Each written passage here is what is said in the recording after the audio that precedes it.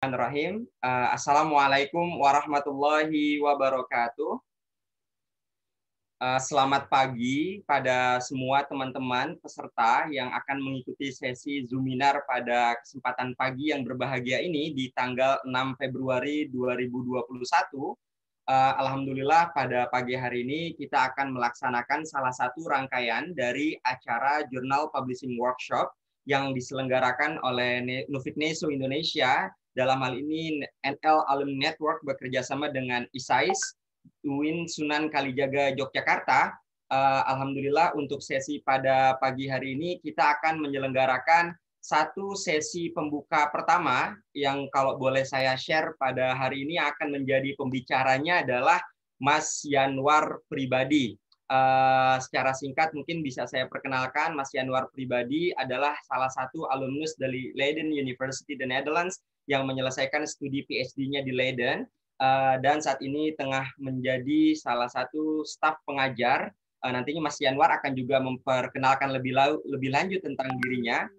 Uh, juga kami ingin mengingatkan bahwasanya uh, Zoom meeting ataupun Zoominar yang diselenggarakan pada pagi hari ini adalah Zoominar dalam sesi yang pertama yang diselenggarakan oleh panitia Journal Publishing Workshop yang merupakan gabungan panitia dari uh, Nufik Neso dan ISAIS uh, Institute of Southeast Asian Islam UIN Sunan Kalijaga. Uh, kepada seluruh teman-teman, karena ini juga merupakan salah satu rangkaian workshop yang diselenggarakan oleh panitia, uh, kita juga masih akan menyelenggarakan sesi-sesi yang lain yang juga dilaksanakan pada hari Sabtu.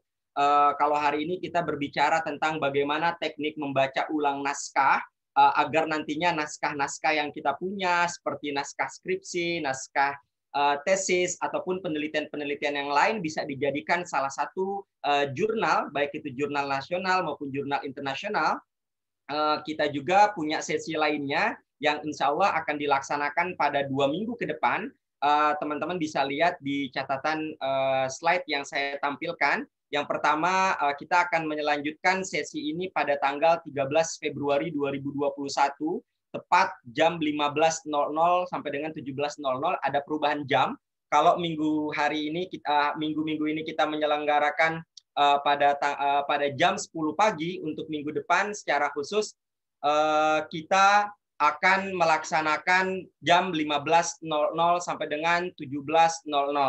Nah, untuk sesi yang tanggal 20 Februari 2021, kita akan melaksanakan secara eksklusif juga uh, dengan tema khusus teknik menerbitkan artikel jurnal dan ini akan sesinya kembali ke jam 10 pagi sampai dengan jam 12 siang waktu Indonesia Barat. Uh, semua yang menjadi pembicara dan moderator pada sesi Zoominar dalam tiga rangkaian ini merupakan alumni Belanda maupun juga mereka yang sedang menempuh studi di Belanda. Ini sebagai salah satu bukti kontribusi alumni dan uh, mahasiswa-mahasiswi Belanda bagi masyarakat di bidang pendidikan, khususnya dalam hal tulis menulis dan karya tulis ilmiah. Uh, berikut gambaran singkat. Uh, saya juga akan memperkenalkan diri saya terlebih dahulu. Saya Dito Alif Pratama, saat ini tercatat sebagai alumni officer dari Nufik Neso Indonesia saya juga menyelesaikan studi master saya di Vrije University Amsterdam, Belanda melalui skema beasiswa S2 luar negeri Kementerian Agama Republik Indonesia. Uh, sambil kita memulai diskusi yang juga nantinya akan dilaksanakan dalam bentuk uh, presentasi dan talk show, uh, saya ingin mengundang juga Mas Yanwar pribadi. Uh, Assalamualaikum Mas Yanwar. Waalaikumsalam Mas Tito. Wah, ini Mas Yanwar sudah uh, mulai dan sepertinya sudah siap menyapa teman-teman peserta pada pagi hari ini. Mas Yanwar, bagaimana kabarnya, Mas? Baik, baik. Menyenangkan sekali hari ini. Menyenangkan hari ini ya. Ini juga merupakan kick off pertama, Mas, dari rangkaian acara kita dan pesertanya masih terus berdatangan. Saya juga bahagia sekali nih banyak yang berdatangan dan sepertinya nggak hanya dari mahasiswa, saya juga melihat ada dosen-dosen dan juga dari LP2M yang datang nih. Saya lihat ada Pak Ayub Mursalin salah satunya. Terima kasih Bapak dan semua teman-teman. Ini salah satu uh, ikhtiar dari kita menjalin komunikasi dan relasi. Uh, Mas Yanwar, mungkin sebelum kita mulai sesi pada pagi hari ini, uh, Mas Yanwar bisa perkenalan dulu secara singkat, Mas. Mas Yanwar ini aktivitasnya di mana, terus juga dulu waktu di Belanda belajar apa, dan apa yang menjadi fokus kajian penelitian Mas Yanwar so far sampai hari ini, Mas. Oke, baik. Uh, terima kasih Mas Dito.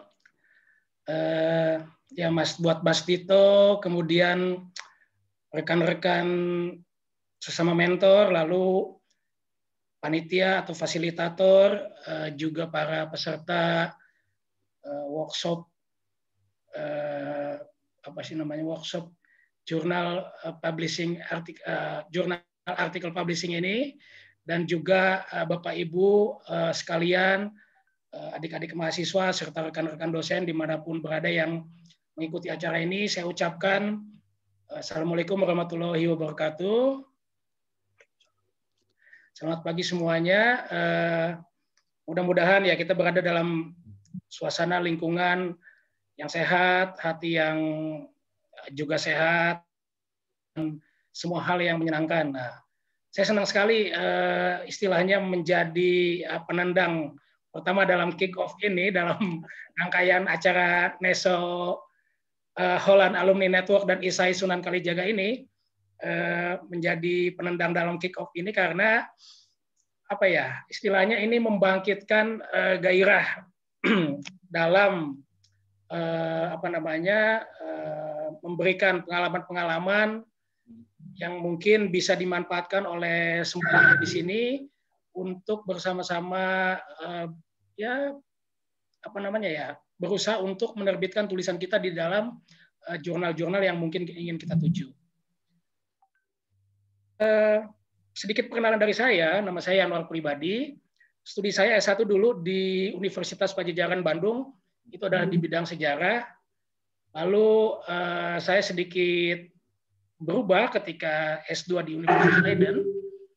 Itu saya mengkaji uh, studi Islam atau Islamic Studies dan kemudian uh, S3 kalau mau dibuat spesifik sebenarnya lebih banyak ke antropologi politik untuk S3-nya.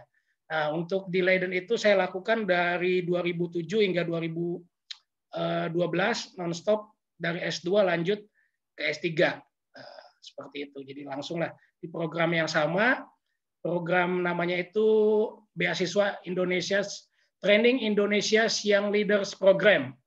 Yang tentu saja uh, dikoordinasi oleh Navik Neso yang dananya diperoleh dari beasiswa pemerintah Belanda. Kalau nggak salah dulu melalui Kementerian Luar Negeri. Eh, Belanda dan juga kerjasama dengan Kementerian Agama eh, Republik Indonesia. Jadi eh, mengenai pendidikan seperti itu, nah mulai mulai saya lulus S1 itu saya mulai berusaha untuk menuliskan tulisan mengirimkan tulisan-tulisan saya ke beberapa jurnal dalam bahasa Indonesia. Alhamdulillah ada beberapa yang diterima di jurnal berbahasa Indonesia Lalu ketika saya mulai uh, mendapat kesempatan belajar di Leiden, tentu saja juga mendapatkan uh, apa namanya pengalaman suasana uh, perguruan tinggi internasional sehingga kemudian saya mulai bisa menulis dalam bahasa Inggris. Dan alhamdulillah mulai uh, apa namanya PhD atau S3 saya yang tanpa jeda sejak S2 itu saya sejak uh, itu mulai mengirimkan bagian-bagian dari disertasi saya ke dalam uh, artikel dan juga mengubah tesis master saya uh, menjadi dua artikel uh, jurnal. Dua-duanya diterbitkan, dalam bahasa Inggris. Nah, seperti itu. Nah, titik yang terakhir adalah ketika artikel-artikel dari beberapa bab di dalam disertasi saya selain dituliskan diterbitkan menjadi artikel jurnal, juga akhirnya diterbitkan menjadi sebuah buku yang pada tahun 2018 terbit di penerbit uh, Routledge di Inggris. Kurang lebih seperti itu Mas Tito latar belakangnya. Uh, ya, terima kasih Mas Yanwar atas pengenalan yang saya rasa singkat, berbobot, sangat keren, keren banget gitu ya dalam artian Mas Yanwar ini uh, juga sudah sangat berpengalaman dalam uh, menulis di beberapa jurnal, baik di jurnal nasional maupun juga internasional. Nantinya kita akan sharing bersama.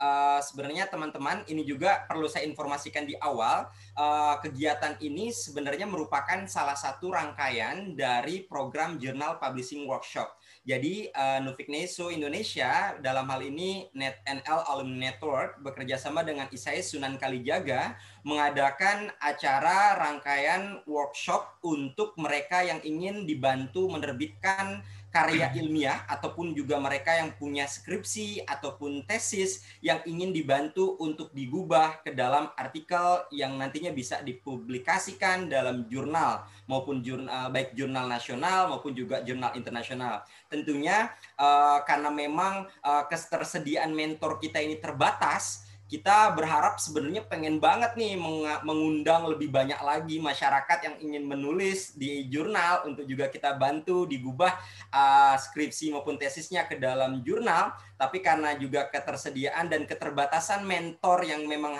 dalam hal ini hanya terdiri dari enam orang dan kita akhirnya hanya memfasilitasi sementara ini 18 orang. Dalam catatan satu mentor akan mendampingi tiga orang, tiga orang menti nantinya untuk dibantu dan diarahkan mendiskusikan beberapa hal penting. Nah, diskusi-diskusi yang dilaksanakan setiap hari Sabtu ini merupakan salah satu rangkaiannya. Selain juga ada mentoring-mentoring khusus antara mentor dan menti di lain sebagainya, di lain waktu dan lain kesempatan selain hari Sabtu ini yang juga menjadi salah satu rangkaian yang terbuka untuk publik. Uh, baik tanpa berpanjang kata uh, karena memang sudah uh, uh, kita sudah mulai sejak 15 menit yang lalu. Uh, mari sama-sama kita memulai sesi pada pagi hari ini dengan terlebih dahulu kita berdoa uh, dengan kepercayaan masing-masing uh, agar sesi pagi hari ini bermanfaat berkah untuk kelancaran aktivitas kita dan juga pendidikan kita di masa yang akan datang. Berdoa dimulai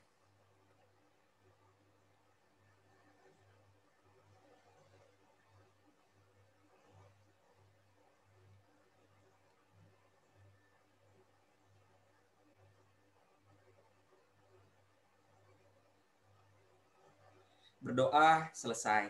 Uh, baik, bapak-bapak, ibu-ibu, teman-teman sekalian yang berbahagia, uh, saya akan informasikan secara singkat jadi uh, yang akan kita laksanakan pada pagi hari ini kita akan terlebih dahulu mendengarkan presentasi dari Mas Yanwar pribadi uh, terkait dengan catatan-catatan penting dari beliau tentang bagaimana sesungguhnya uh, kita bisa membaca ulang naskah kita, baik itu kita punya artikel uh, ataupun kita juga hasil penelitian untuk kita gubah nantinya ke dalam uh, artikel jurnal. Uh, nanti setelah kita mendengarkan paparan dari Mas Yanwar pribadi, uh, kita akan lanjut kepada sesi tanya jawab tapi akan lebih kepada talk show. Tapi juga saya juga berharap teman-teman juga bisa uh, tolong terlebih dahulu sebelum nanti Mas Yanwar pribadi sampaikan materi. Saya pengen tahu ini yang datang dari mana aja ya? Boleh mungkin uh, dikirim uh, ditulis di kolom chat biar kita semakin semangat ini. Oh ternyata yang datang nggak hanya dari Jakarta nih misalkan ada yang dari luar Jakarta. Mungkin uh, ada yang berkenan untuk bisa menulis di kolom chatnya masing-masing kira-kira uh, peserta yang bergabung hari ini dari mana ya? Ada yang dari Padang. Oke, terima kasih. Ada juga yang dari Jawa Tengah, Banjarnegara. Terima kasih. Ada yang dari Malang, Sleman. Oke, Makassar, Tulung Agung. Sukabumi juga ada, Bukit Tinggi, Surabaya, Palangkaraya, Banten, Ambon pun ada dan alhamdulillah ternyata uh, Mas Yanwar yang hadir nggak hanya dari Jabodetabek Mas, ada yang dari Brebes dan lain sebagainya. Uh, saya sangat bahagia ternyata ini juga menjadi salah satu bukti kemanfaatan uh, acara ini bisa tersebar di banyak uh, kota dan juga bisa memberikan kemanfaatan lebih luas. Uh, terakhir sebelum saya serahkan ke Mas Yanwar, uh, Nufik Neso punya merchandise buat teman-teman nantinya di mana pun kalian berada saat ini di Indonesia uh, silakan kita punya 3 sampai 5 merchandise. Uh, caranya gampang. Teman-teman cukup bikin uh, snapshot di Instagram story uh, tentang keseruan acara ini. Tapi nanti yang akan kita pilih adalah story-story uh, yang paling menarik dan unik uh, tentunya siapa yang akan entah melalui panitia dan juga tim admin nantinya akan dimintai alamat untuk dikirimi merchandise dari Novik Neso pada Senin dan Selasa esok. Uh, sebelum uh, uh, hari libur nanti menjelang Imlek. Begitu ya? Uh, begitu saja juga di Instagram Story. Jangan lupa untuk mentag uh, studi at studi di Belanda dan at uh, Hol uh, Ikan Nethan dan yang ketiga Isai Sunan Kalijaga nanti akan saya kirimkan di kolom chat. Silakan Mas Yanwar, uh, waktu dan tempat. Oke, baik. Saya izin untuk uh, men-share screen materi yang akan saya bagikan hari ini.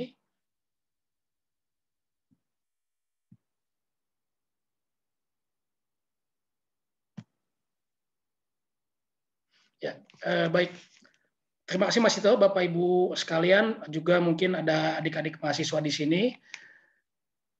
Materi kali ini adalah tentang teknik membaca ulang naskah. Sebenarnya nanti mungkin eh, materi ini juga akan ada sedikit apa namanya ya eh, tumpang tindih dengan materi kedua dan ketiga. Materi kedua tuh kalau tidak salah akan dibawakan oleh Eh, Grace Laksana, lalu materi ketiga itu akan dibawakan oleh Nur Isma. Eh, keduanya masih berkaitan dengan apa namanya materi yang akan saya eh, sampaikan hari ini. Jadi memang kemungkinan besar tumpang tindih itu akan ada. Jadi akan sangat sayang sekali kalau misalnya kita tidak ikut semua materi dari minggu ini, minggu berikutnya dan minggu berikutnya. Jadi selama tiga minggu ke depan, dua minggu ke depan dan dengan minggu ini jadi tiga minggu akan ada materi-materi yang hampir mirip yang intinya pada dasarnya uh, ingin membagi pengalaman uh, kami uh, bagaimana caranya mengubah uh, skripsi atau tesis menjadi sebuah naskah artikel yang siap dikirim ke uh, jurnal yang ingin kita tuju termasuk juga mencari jurnal yang ingin kita tuju. Nah, jadi eh, memang secara resmi judulnya adalah teknik membaca ulang naskah, tapi akan ada beberapa bagian yang mungkin eh, juga masuk ke dalam bagaimana caranya menulis atau mencari eh, jurnal yang dituju. Nah, baik. Eh, di sini saya akan mulai pertama dengan hal yang paling simpel, perbedaan antara skripsi atau tesis dengan naskah artikel. Nah, yang pertama kita lihat misalnya sebelah kiri, skripsi atau tesis ini jelas bukanlah sebuah naskah artikel. Karena di dalamnya ada banyak sekali review literatur. Jadi memang eh, biasanya perguruan tinggi akan meminta kita itu membaca banyak sekali bacaan. Bukan hanya membaca, tapi juga menuliskan kembali eh, bacaan-bacaan yang kita baca tersebut. Nah, setelah itu, setelah ada review literatur, juga biasanya ada diskusi teori. Seperti itu. Kemudian tentu saja ada juga data empiris untuk mengilustrasikan jangkauan penelitian.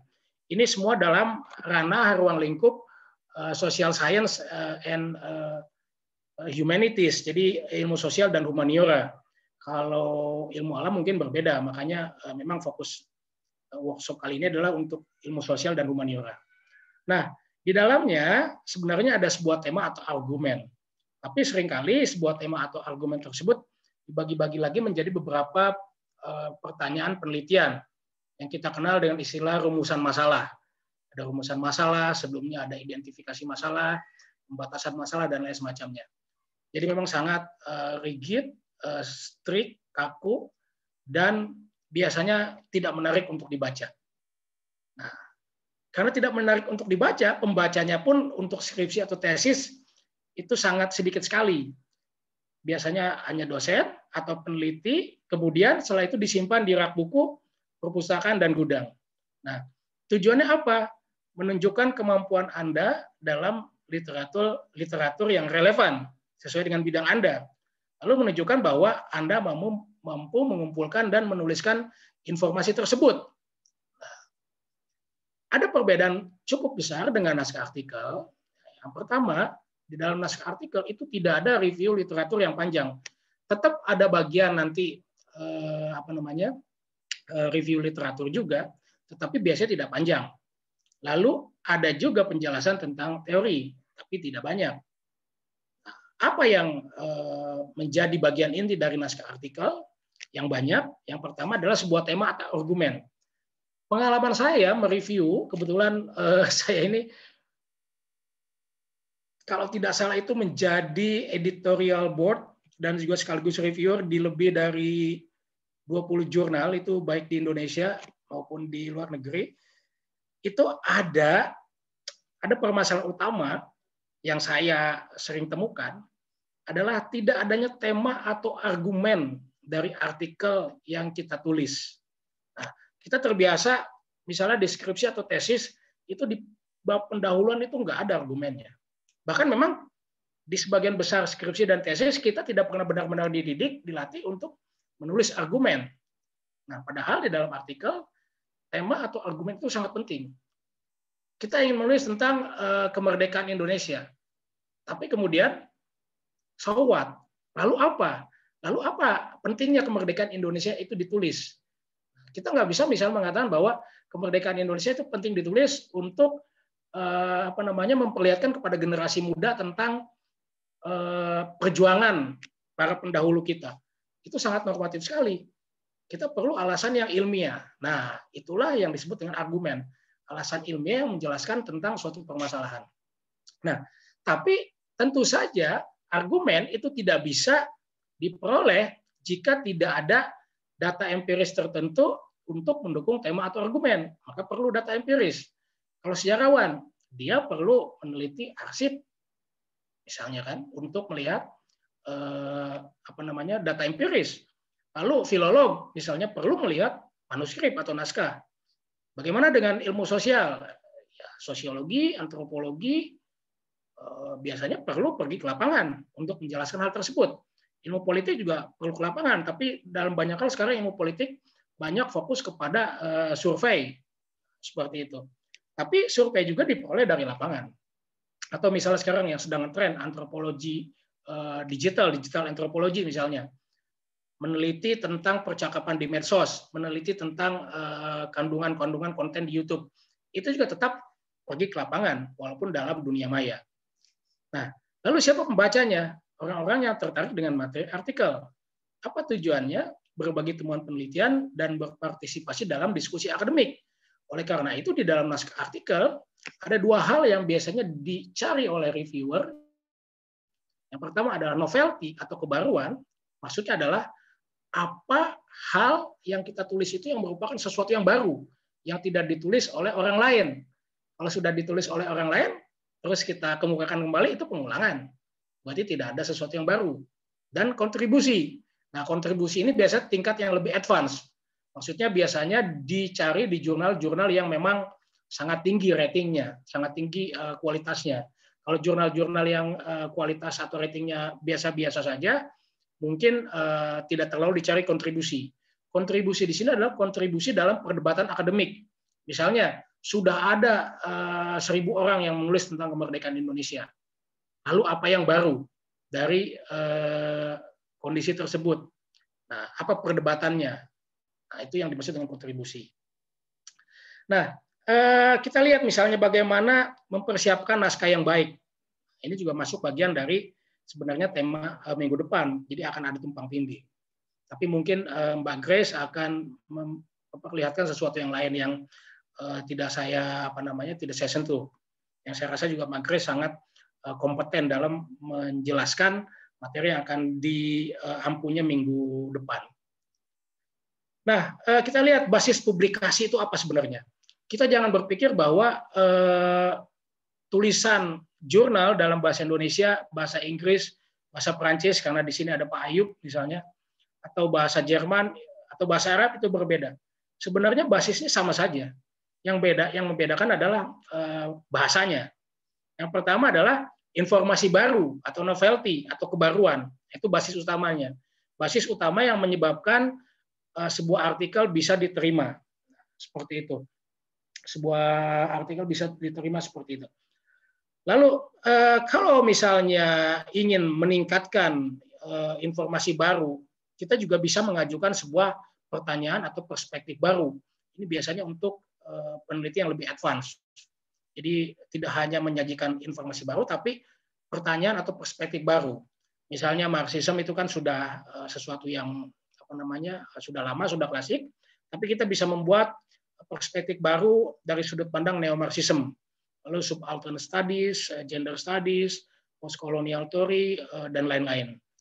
Yang intinya memperlihatkan cara baru untuk memandang materi lama. Materinya lama, itu tadi misalnya tentang kemerdekaan Indonesia. itu materi lama, sudah banyak orang menulis. Tapi apa cara baru yang ingin kita lihat untuk menjelaskan tentang kemerdekaan Indonesia? Kemudian uh, artikel juga harus ditulis simple, langsung to the point dan jelas. Kita bayangkan misalnya uh, tesis skripsi itu kan kalau di Indonesia uh, 45, 60, 70, 80 halaman. Kalau di Belanda dulu saya nggak terlalu tebal sih, cuma berapa ya sekitar 35 halaman mungkin. Nah, tapi itu tetap tebal sekali dibandingkan dengan artikel. Jadi dan tidak to the point karena pendahuluannya pun panjang. Jadi harus uh, simple langsung to the point uh, jelas. Lalu strukturnya juga tegas dan logis. Uh, logis itu dalam artian ada biasanya struktur-struktur yang sudah menjadi pakem di dalam suatu bidang ilmu tertentu. Seperti itu. Tidak seperti di skripsi dan tesis yang pendahuluannya itu harus ada rumusan masalah, harus ada tujuan penelitian, harus ada kerangka teori, harus ada tinjauan pusaka dan lain semacamnya. Uh, di dalam artikel itu biasanya lebih simpel tapi uh, tegas. Lalu tentu saja kualifikasi penulis, uh, skill, misalnya bahasa, logika berpikir, latar belakang akademik. Nah, jangan khawatir untuk pemula yang maksudnya yang baru lulus S1 gitu kan, jangan berpikir bahwa kita nggak punya skill seperti ini lalu akan dilihat tidak kompeten oleh editor. Tidak seperti itu juga. Makanya kita perlu mengukur dulu uh, diri kita juga misalnya. Kalau baru lulus S1, baru lulus S2, sesuaikan dengan target jurnal yang ingin kita tuju. Jangan misalnya langsung merujuk dalam studi Islam misalnya ingin masuk ke jurnal The Muslim World, jurnal yang sudah berusia ratusan tahun atau dalam studi Asia Pasifik misalnya ingin masuk ke Pacific Review yang juga sudah berusia hampir 100 tahun dan lain semacamnya. Nah, lalu penelitian yang telah dilakukan sebenarnya eh, apa yang sudah dilakukan oleh eh, kita di dalam menulis tersebut? Apakah penelitian eh, pustaka saja atau penelitian empiris? Itu juga menjadi suatu perhatian. Lalu track record publikasi. Editor-editor yang eh, yang cerdik biasanya sebelum membaca apa namanya naskah itu akan melihat dulu track record kita. Sekarang itu kan gampang sekali bisa di googling kan dan reputasi seperti itu. Nah, argumen yang kuat eh, didukung oleh data yang dapat dipertanggungjawabkan. Nah, kita akan lihat seperti apa argumen yang kuat itu. Nah, ini yang dimaksud dengan membaca ulang. Pertama, eh, untuk siapa pun yang ada di sini tidak hanya terbatas pada peserta, pikirkan berapa artikel yang akan dihasilkan dari skripsi atau tesis yang uh, Anda miliki. Tesis skripsi biasanya ada lima bab. Bab satu, bab lima, bab satu pendahuluan, bab lima penutup, penutup tentu saja tidak bisa dijadikan sebagai sebuah artikel jurnal. Nah, yang bisa dijadikan artikel jurnal bab dua, bab tiga atau bab empat. Tapi itu tidak seperti itu juga. Misalnya ada tesis eh, dan skripsi di bidang pendidikan yang bab duanya adalah apa ya tinjauan teori atau eh, metode penelitian atau terbaliklah. Pokoknya bab dua dan bab tiga isinya kalau nggak eh, metode penelitian, kajian teori. Nah seperti itu sehingga bab intinya atau bab isinya hanya ada di bab empat. Kalau itu yang terjadi sebenarnya hanya satu bab. Tapi dari satu bab itu pun sebenarnya masih bisa juga dibuat menjadi beberapa artikel. Tergantung apa kita lihat rumusan masalahnya. Satu rumusan masalah itu bisa untuk mengkaji sebuah artikel. Rumusan masalah kedua mengkaji artikel yang kedua. Nah, jadi pentingnya eh, nanti merevisi tesis atau skripsi itu adalah bagaimana mengembangkan sebuah rumusan masalah atau sebuah pertanyaan penelitian menjadi sebuah artikel menjadi artikel yang lain. Nah, seperti itu. Yang untung adalah kalau misalnya skripsi atau tesis yang bab duanya sudah langsung isi. Jadi kalau ada eh, bab ada lima bab, berarti kan bab isinya ada tiga, bab dua, bab tiga, bab empat, itu bisa dikembangkan menjadi eh, tiga tiga artikel. Dalam kasus eh, disertasi saya misalnya, saya punya delapan eh, bab, bab satu ya pendahuluan, bab delapan penutup, lalu isinya adalah bab dua, tiga, empat, lima, enam, tujuh. Jadi ada eh, enam, ada enam bab. Dari enam bab ini, eh, lima bab saya kirim ke beberapa jurnal dan juga edited volume. Jadi lima akhirnya terbit. Terbitnya ada yang ketika masih saya menjadi mahasiswa PhD, ada yang terbitnya sudah lulus. Padahal dikirimnya memang ketika mahasiswa, tapi proses penerbitan itu kan nggak instan. Tidak hari ini dikirim besok terbit. Ada proses yang memakan waktu sampai tiga tahun. Nah, jadi kalau yang bab duanya sudah bab isi, itu bisa dipecah-pecah langsung menjadi sebuah artikel. Kasus saya enam bab isi, yang saya kirim eh, lima bab. Kenapa nggak enam bab aja sekalian? Lima bab saya, saya lima bab saja sudah keteteran karena ternyata revisinya banyak. Apalagi waktu itu saya juga masih belajar nulis. Karena di masa S3 pun saya masih belajar nulis. Dan bahkan sampai sekarang saya masih terus belajar nulis. Cuma waktu itu masa belajar nulisnya enak karena eh, saya tidak harus eh, apa namanya fokus kepada kerjaan, hanya kepada eh, penelitian saja. Kalau sekarang masa eh, menulisnya itu masih ditambah dengan pekerjaan, curhat dikit misalnya, ngajar 12 kelas karena saya adalah seorang dosen, ngajar 12 kelas lalu eh, membimbing skripsi misalnya sampai 30 orang, wah itu kan repot juga. Tapi tetap tidak ada alasan bahwa misalnya eh, apa namanya privilege yang tidak didapatkan sewaktu menjadi mahasiswa S3 kemudian menjadi penghalang sekarang untuk menulis selalu ada uh, waktu untuk bisa menulis kalau kitanya punya niat yang kuat. Nah, oke okay, baik. Dari berapa artikel yang akan dihasilkan dari skripsi atau tesis, yang kedua adalah temukan argumen inti dari skripsi atau tesis atau dari tiap-tiap bab. Seperti itu. Jadi temukan argumen inti. Apa sih sebenarnya yang telah kita sampaikan itu? Jangan-jangan kita ini sebenarnya nggak menyampaikan apa-apa karena Eh, skripsi kita, tesis kita itu sebenarnya mengulang tulisan orang lain. Nah, kalau ini yang terjadi, kalau ini mengulang dari skripsi atau tesis yang lain, berarti Bapak Ibu, adik-adik mahasiswa ya harus melihat, berusaha menyusun kembali argumen dari skripsi atau tesisnya masing-masing atau dari tiap-tiap bab. Kalau bab kalau punya tiga bab masing-masing itu bab inti. Nah, apa argumennya? Argumennya itu kan apa sih yang ingin disampaikan? Seperti yang saya bilang tadi, pentingnya kemerdekaan Indonesia. Apa argumennya? Argumen kemerdekaan Indonesia itu penting karena itu misalnya memperlihatkan bahwa eh, ini dari dari sudut pandang hubungan internasional memperlihatkan bahwa Jepang tidak mampu eh, apa namanya Jepang tidak mampu eh, menguasai eh, Asia karena eh, faktor-faktor kultural. Jadi fokusnya ke situ saja. Formulasikan kembali argumen tersebut dalam satu dua kalimat. Jadi argumen itu nggak panjang-panjang, satu dua kalimat saja. Yang panjang itu adalah penjelasannya. Nah, kenapa perlu penjelasan yang panjang? Penjelasan yang panjang itu diperlukan untuk mendukung argumen kita. Kita nggak bisa ngomong misalnya, Indonesia adalah negara yang kaya. Nah, buktinya apa? Harus ada eh, kalimat-kalimat menjelas. Indonesia adalah negara yang kaya karena satu sumber daya alamnya kuat, kemudian misalnya eh, basis eh, basis cadangan devisa negaranya juga kuat. Nah, itu perlu penjelasan. Tapi argumennya nggak panjang-panjang, satu dua kalimat saja. Nah, kemudian kita bertanya pada diri kita, tanyakan apakah argumen tersebut memiliki novelty atau tidak. Jika ya, kita lanjut. Jika tidak, susun argumen baru dari data yang ada di deskripsi tesis. Lalu kita tahu dari mana misalnya eh, argumen di tulisan kita itu memiliki novelty atau tidak. Salah satu cara yang paling mendasar adalah kita cari tulisan-tulisan lain dengan tema sejenis. Kita lihat apa argumennya dari tulisan-tulisan tersebut. Nah, lalu kita bandingkan dengan tulisan kita. Apakah pengulangan atau tidak? Kalau pengulangan berarti nggak ada novelty-nya. Tapi kalau bukan pengulangan, berarti kita punya novelty, punya kebaruan, punya sesuatu yang bisa disampaikan ke publik. Karena artikel pada dasarnya ingin menyampaikan argumen eh, terbaru kepada publik. Berbeda dengan buku misalnya.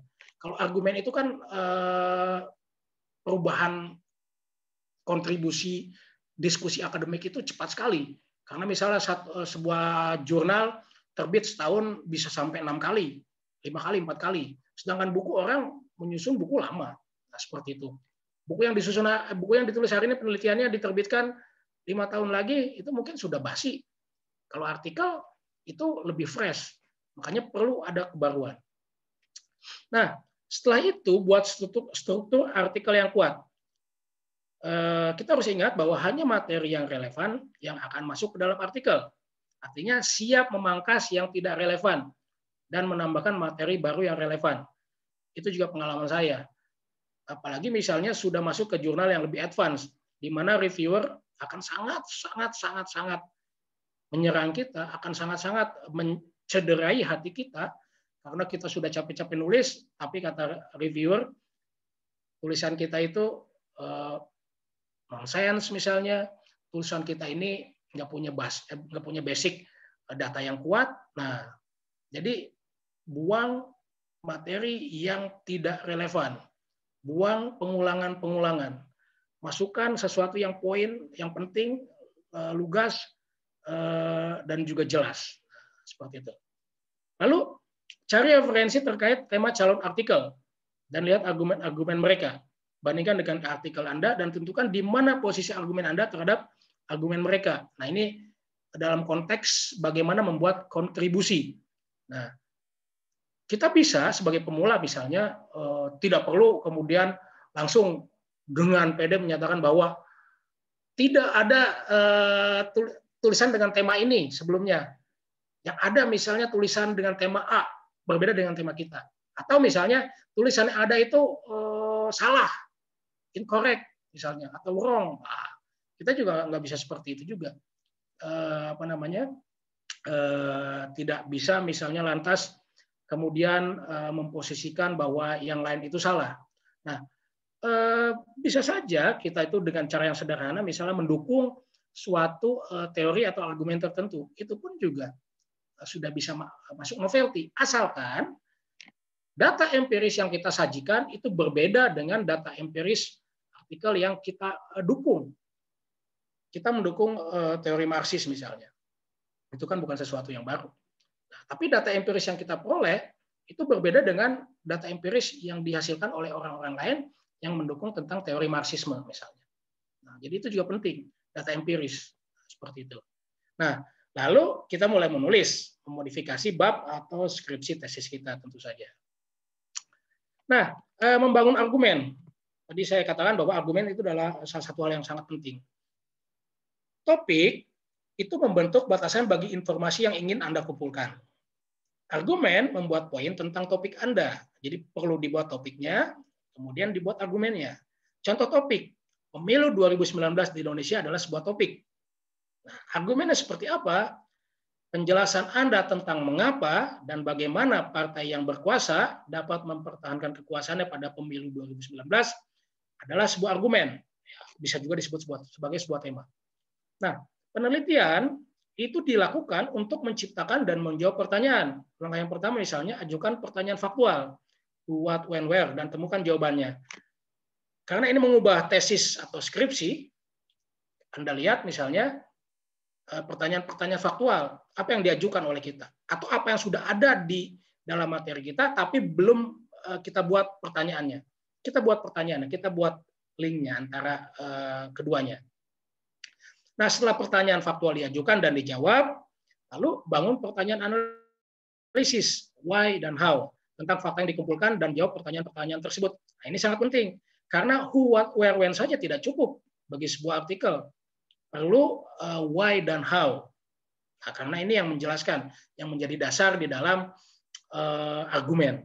Mungkin akan berbeda di ilmu uh, alam, tapi di ilmu sosial dan humaniora, pertanyaan analisis itu sangat penting sekali. Nah, bagaimana dengan uh, poin uh, penulisan? Kita pilih poin analisis sebagai inti naskah. Misalnya, menganalisis peran buzzers dalam mempengaruhi kemenangan Partai A pada pemilu 2019. Jadi, pemilu 2019 itu topik, lalu uh, argumennya adalah penjelasan Anda tentang mengapa dan bagaimana partai yang berkuasa bla bla bla bla. Lalu poin analisisnya menganalisis peran Bajers dalam mempengaruhi kemenangan partai A pada pemilu 2019. Ini bisa menghasilkan sebuah novelty dari argumen Anda. Nah, kemudian membangun struktur. Kita lihat ada kiri dan kanan. Ini saya ambil posisinya uh, seperti sebagai sebuah pegawai bank anda bekerja di bank dan diminta untuk mengevaluasi sebuah permintaan peminjaman. Berikut ini ada dua kemungkinan struktur laporannya. Dalam kurung lihat perbedaan yang ditebalkan. Fokus kepada yang ditebalkan. Oke, yang pertama, ini yang paling umum, yang sebelah kiri. Isinya pendahuluan, lalu laporan tentang permintaan peminjaman. Di bagian isi ada informasi yang terdiri dari produk, perusahaan, kepemimpinan, prospektif market, lalu ada kesimpulan. Pinjaman harus disetujui. Ini sangat old fashion. Saya tegas saja mengatakan sangat old fashion. Dan eh, Ya karena old fashion artinya sudah kuno, ketinggalan zaman biasanya tidak menarik. Dan bahkan untuk jurnal-jurnal yang advance yang ratingnya tinggi, kemungkinan bisa ditolak. Kita lihat yang kanan. Di bagian pendahuluan, ada kata-kata akan. Jadi akan melaporkan tentang permintaan peminjaman. Lalu yang ditebalkan akan merekomendasikan persetujuan. Jadi Bedanya dengan yang kiri, kalau struktur yang eh, bukan old fashion, struktur yang modern, struktur yang sekarang lebih banyak diterima di dalam jurnal adalah di pendahuluan kita sudah membuat argumen atau kita sudah membuat kesimpulan. Jadi akan merekomendasikan persetujuan. Jadi sudah dari awal kita akan merekomendasikan persetujuan tidak seperti di eh, yang kiri eh, persetujuannya itu nanti di bagian akhir. Artinya apa?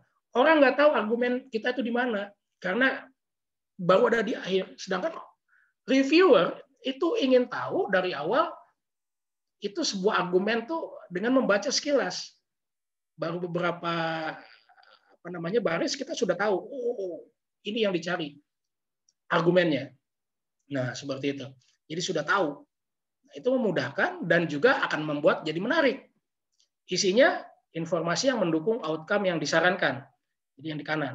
Jadi karena sudah akan merekomendasikan persetujuan, kita sudah mengarah bahwa isinya ini akan seperti itu. Jadi tidak akan ada hal-hal yang bersifat menolak, menolak persetujuan peminjaman tidak. Jadi sudah akan langsung produk, perusahaan, kepemimpinan, prospektif market itu diarahkan untuk merekomendasikan persetujuan. Nah, kesimpulannya kini menunjukkan mengapa pinjaman harus disetujui. Jadi setelah di atas memang akan merekomendasikan persetujuan, diperlihatkan lagi Tuh, kan benar kan? E, pinjaman harus disetujui karena dari awal saya sudah bilang begitu. Nah, ini struktur yang e, tidak old fashion, modern bisa dikatakan up to date dan lebih banyak disukai dalam jurnal-jurnal yang lebih advance. Walaupun sebenarnya yang di kiri juga jurnal-jurnal tertentu masih menerima. Tapi kalau misalnya saya reviewernya, itu akan saya sarankan untuk dipindah menjadi yang seperti B. Oke, baik. Kita lihat misalnya eh, membuat membuat apa namanya eh, argumen tentang Islam di Minangkabau. Informasi yang relevan itu sangat luas. Ada subtopik atau cluster, misalnya ada ritual, adat, isu gender, ada wahabisme, ada surau, madrasah, pendatang asing, dan semacamnya. Nah, untuk memperlihatkan seperti apa Islam di Minangkabau, itu mulai dengan observasi faktual dan tanya mengapa. Mayoritas orang Minang adalah Muslim. Mengapa? Surah menjadi alat penting Islamisasi. Mengapa? Tarekat memiliki banyak pengikut di Sumatera Barat. Mengapa? Nah, kita lihat eh, informasi yang dikumpulkan. Ini ada yang masih hitam, masih ada juga yang merah. Jadi sampai dengan ini eh, subtopik cluster. Nah, ini kemudian saya merahkan. Nah, kenapa ada yang dihitamkan, ada yang dimerahkan? Nah, akan kita lihat. Fakta mayoritas orang Minangkabau adalah Muslim. Pertanyaan analisis mengapa? Kemudian kita buat respon, digunakan untuk membuat struktur naskah. Muslim Minangkabau belajar tentang Islam di surau. Oh, jadi itu tujuannya yang dimerahkan itu untuk membuat penekanan, empasis. Eh, surau. Jadi eh, di mana orang Minangkabau itu belajar Islam? Ternyata di surau. Lalu eh, apa namanya aktivitas keagamaan apa yang menjadi populer di Minangkabau ternyata tarekat. Nah, apa yang membentuk Islam di Minangkabau yang asalnya sangat dipengaruhi oleh unsur tradisional, kemudian sekarang menjadi lebih heterogen. Ternyata ada perang Padri pada abad ke-19 dan konflik antara kaum tua dan kaum muda yang membuat Islam di Minangkabau menjadi lebih heterogen. Nah, itu eh, digunakan untuk membuat eh, argumen dan juga struktur. Kita ambil lagi eh, kasus yang pemilu 2019 fakta Apa? Kapan? Di mana? Siapa? Apa? Partai yang berkuasa menang lagi. Kapan? 2019. Di mana? Indonesia. Siapa? Aktor-aktornya. Ada kandidat, ada pemilih, ada KPU. Pertanyaan analis, mengapa partai yang berkuasa menang? Kemudian misalnya ada teori atau konsep. Eh, kita ambil dari sebuah eh, buku atau artikel yang menyebutkan bahwa ada korelasi langsung antara jumlah uang yang dikeluarkan pada masa kampanye dan jumlah suara yang diperoleh oleh kandidat. Nah, kita membuat argumennya dari eh, apa namanya fakta yang kita temui di lapangan dari pertanyaan faktual. Ada yang dimerahkan, ada yang masih dihitamkan. Argumen Partai yang berkuasa menang karena organisasi yang kuat dan jumlah uang yang dikeluarkan. Yang oposisi kalah karena tidak ada dukungan dari uang cilik, lalu skandal korupsi yang mempengaruhi partai oposisi, dan karisma yang menurun dari mantan calon presiden yang sebelumnya eh, kalah dalam pemilu 2014. Kesimpulan teoritis, teori bahwa jumlah uang yang dikeluarkan berkorelasi langsung dengan jumlah suara ternyata kurang didukung oleh fakta yang cukup dan oleh karenanya perlu dimodifikasi dengan menambahkan beberapa hal baru. Nah, ini yang eh, dalam konteks yang lebih advance kita tidak hanya membuat argumen tapi juga membuat kontribusi terhadap perdebatan akademik. Nah, jadi kita menguji teori yang ada. Teori yang di sini yang eh, ada korelasi langsung antara jumlah uang yang dikeluarkan pada masa kampanye dan jumlah suara yang diperoleh kandidat. Nah, ternyata kesimpulannya oh enggak seperti itu. Berarti ada celah untuk memperbaiki teori tersebut. Nah, celah yang kita hasilkan kemudian kita sampaikan itu selain berfungsi sebagai argumen kita, juga berfungsi sebagai kontribusi kita kepada perdebatan dalam diskusi akademik tentang pemilu dalam eh, kajian-kajian ilmu politik misalnya. Nah, jadi kita tidak hanya membuat argumen tapi juga membuat kontribusi. Nah, kalau kita bisa melakukan itu, itu akan sangat eh, tinggi sekali nilai artikel kita. Tapi memang ini untuk konteks yang lebih advance. Nah, modifikasi mencakup pembahasan tentang organisasi uang, peranan uang cilik, korupsi, peranan karisma. Ini yang saya tebal, yang saya buat merah ini artinya fokus untuk memodifikasi teori yang ada itu dengan fokus membahas organisasi, membahas uh, uang atau money politics misalnya, lalu uang cilik, korupsi dan karisma. Itu fokus-fokusnya. Jadi uh, subsectionnya lah atau sectionnya, section di dalam kalau di artikel uh, maaf kalau di tesis skripsi kan bab-babnya, kalau ini uh, sectionnya itu yang kita bahas. Kesemuanya itu didukung untuk men menyimpulkan uh, argumen kita bahwa uh, teori yang ada itu ternyata tidak lengkap. Kita menambahkan dengan hal-hal baru dari temuan lapangan kita. Nah, itu akan membuat selain novelty juga kontribusi. Nah, seperti apa artikel hasil skripsi tesis? Tentu saja yang pertama, naskah berasal dari skripsi atau tesis yang baik dan benar. Jadi kalau tesis dan skripsinya tidak baik dan tidak benar, alias misalnya eh, meniru orang lain, ya akan sulit untuk bisa diubah menjadi apa namanya artikel. Lalu naskah ditulis dengan standar penulisan akademik ilmiah dan sesuai eh, dengan gaya selingkung jurnal yang dituju. Ingat eh, gaya selingkung, jadi gaya menulis itu perlu disesuaikan. Tidak semua jurnal sama. Lalu kebaruan atau novelty dan kontribusi keilmuan. Temuan baru seperti apa? Tadi sudah saya jelaskan. Eh, memodifikasi teori yang sudah ada. Atau menghasilkan teori yang sama sekali baru, tapi itu sangat sulit sekali. Lalu argumen yang dilengkapi oleh data pendukung. Nah, jika memungkinkan, letakkan hasil penelitian dalam kerangka diskusi yang lebih luas. Misalnya fokus kita tentang tadi Islam di Minangkabau.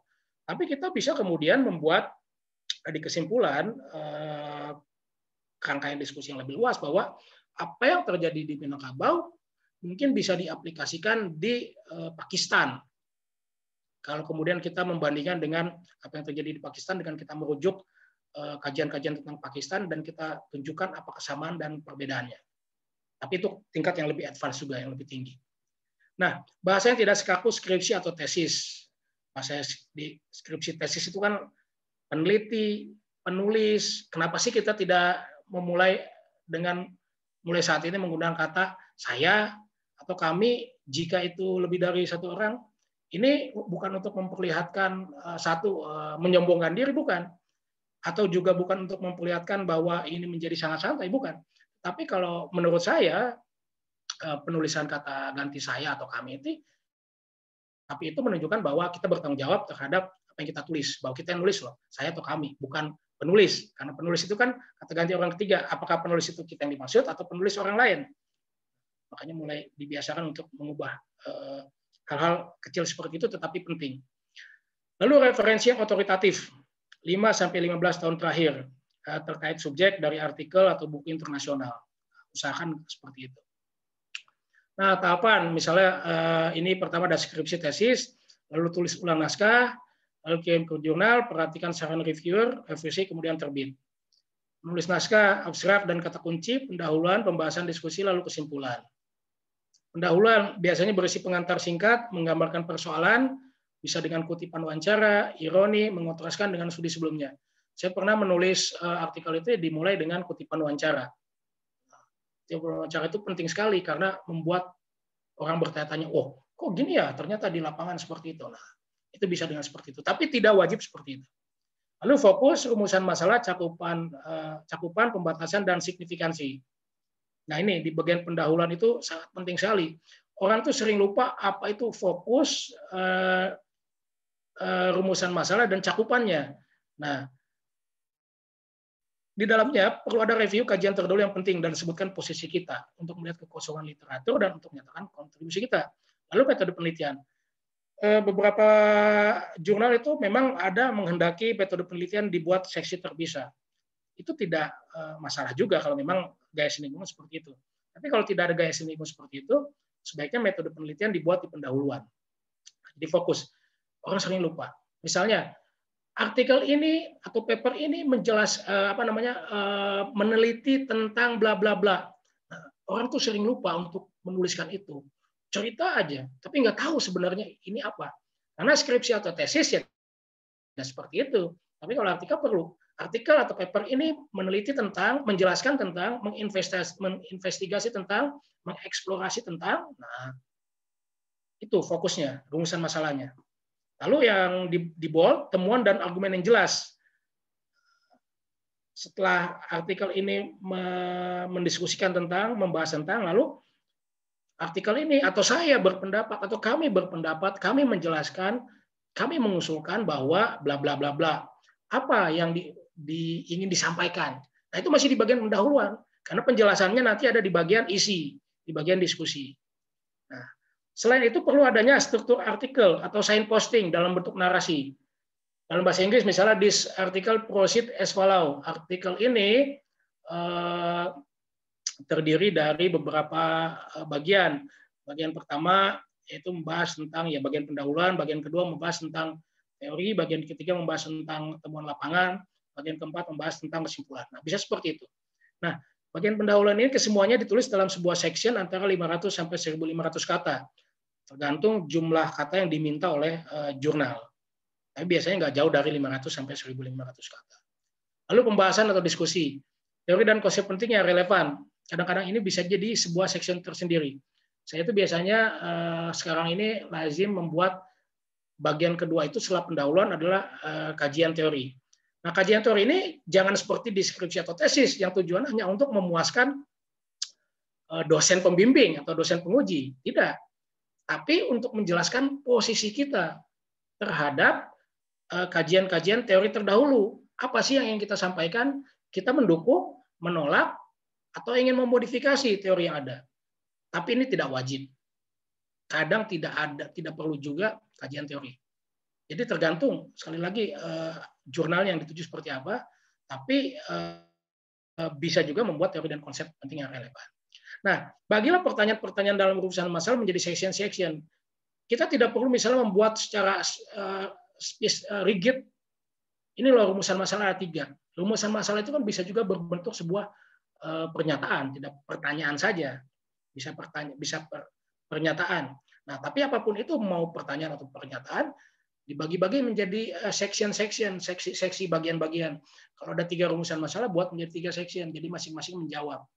Jadi hampir sama sebenarnya dengan uh, skripsi. Cuman kalau skripsi tesis itu dalam bab, kalau ini section. Nah, kemudian mengumpulkan temuan, data lapangan, uh, arsip atau angket, tergantung bidang kita. Lalu kita analisis temuan. Bisa juga kita gunakan teori atau konsep untuk menganalisis jika perlu, tapi tidak wajib juga. Karena yang penting adalah temuan yang dianalisis. Lalu gunakan data pustaka, buku, atau artikel untuk membuat perbandingan dengan temuan kita secara kritis. Kalau perlu kita mengkritik, ternyata temuan di lapangan kita berbeda dengan temuan lapangan penulis sebelumnya, kemukakan, itu akan menjadi nilai lebih. Lalu yang terakhir, hanya data penting yang dianalisis. Yang lain bisa diletakkan di catatan kaki atau catatan akhir, kalau dibuang sayang misalnya. Nah, kesimpulan. Ingat bahwa kesimpulan bukanlah ringkasan atau summary. Tegaskan argumen sekali lagi tegaskan argumen kita yang sudah dibuat di pendahuluan. Tentu saja dimodifikasi kalimat-kalimatnya dari argumen yang ada di pendahuluan. Tidak sama persis blok, misalnya seperti itu. Nah, itu pengulangan namanya. Nah, pertegas temuan dan kontribusi tentu saja dimodifikasi kalimat-kalimatnya dari argumen yang ada di pendahuluan. Terakhir, jelaskan implikasi atau trajektori untuk studi selanjutnya jika perlu. Itu yang tadi saya bilang dalam kerangka yang lebih luas. Kerangka Islam Minangkabau digunakan untuk uh, proyeksikan apa yang terjadi di Pakistan. Tapi itu uh, hanya jika diperlukan. Nah, perhatikan, hindari typos, uh, salah-salah pengetikan, jangan sampai terjadi, hindari penggunaan kata, kalimat, uh, hindari informasi yang tidak valid, tidak ada rujukan, konsistensi, ejaan, istilah, transliterasi. Misalnya kita nulis aktivitas pakai V, kemudian ada yang menulis aktivitas pakai F, nah, itu kan nggak konsisten. Dan nggak benar juga. Lalu logika antar kalimat dan antar paragraf diperhatikan, pastikan tiap paragraf memiliki ide utama dan bahasa yang terstruktur. Nah, ini kesalahan yang berulang akan saya tunjukkan. Tidak ada argumen yang jelas, tidak ada argumen yang jelas atau tidak ada argumen sama sekali. Kita tidak tahu nih tesis skripsi mau bicara apa. Jadi perlu diperhatikan karena argumen itu sangat-sangat penting, bagian inti dari sebuah artikel. Lalu ter, terlalu banyak pendapat penulis tanpa ada data pendukung. Jadi saya berpendapat begini-begini, tapi nggak ada datanya. Jadi ngarang saja gitu kan. Lalu bisa jadi terlalu berpihak atau bias atau bias atau terlalu merendahkan subjek. Kita misalnya eh, senang dengan eh, kelompok A dalam sebuah agama tertentu, lalu kita puji-puji terus. Atau bahkan kalau kita benci, kita jelek-jelekan terus. Ini enggak eh, nggak baik, nggak benar. Karena artikel terus bersifat netral. Lalu menyebutkan bahwa studi kita menarik dan menyatakan bahwa tidak ada karya sejenis yang terdahulu. Ini juga berbahaya. Biarkan pembaca reviewer yang menilai. Lalu ada pengolahan kata kalimat di bagian. Bagian skripsi tesis, misalnya latar belakang masalah, rumusan masalah, kebenaran penelitian, dan lain sebagainya, yang tidak dimodifikasi. Jadi jangan sampai ada di artikel jurnal itu, skripsi ini, tesis ini menjelaskan. Nah, itu hati-hati. Itu langsung kalau reviewer yang galak, ini tolak saja nih. Si penulis nggak hati-hati. Masih belum dimodifikasi. Terakhir juga bagian penutup yang tidak dimodifikasi. Seperti itu. Nah, eh, ini beberapa apa namanya eh, buku atau juga ya buku memang yang bisa dibaca untuk bagaimana caranya merevisi disertasi, bisa juga untuk tesis atau skripsi kalau perlu. Lalu juga ada eh, buku-buku yang lain Nah, untuk menjelaskan bagaimana mengubah eh, tesis skripsi disertasi menjadi artikel atau buku. Nah, sebelum saya menutup, saya ingin eh, cerita sedikit eh, pengalaman saya karena ini penting juga pengalaman. Jadi gini, ada sebuah tulisan yang saya tulis tentang politik desa.